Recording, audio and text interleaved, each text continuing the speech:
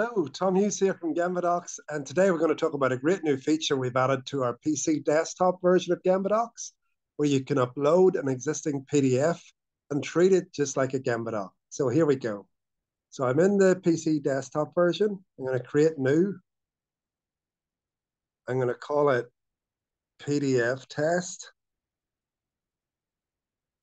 All the usual document control stuff is here, as you can see.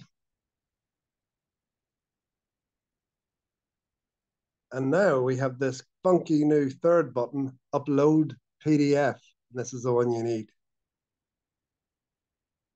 So we're going to upload a PDF and I'm going to cycle back to pick up a document.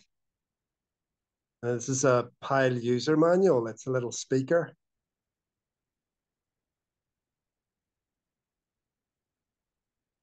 And there's the PDF there. You can see it. And from there, I'm just going to save that document.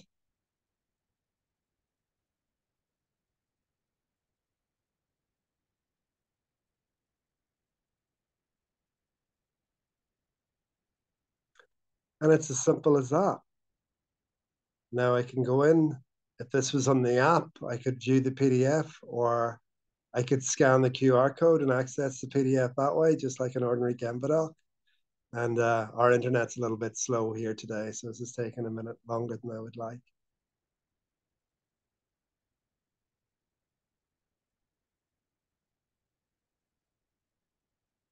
Oh, here we go. This is the PDF. All nice and tidy centrally in Gembadocs.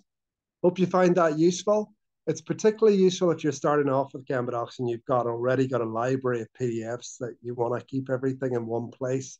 This is perfect for that. So enjoy the feature. Let me know if you have any comments. Thanks a million.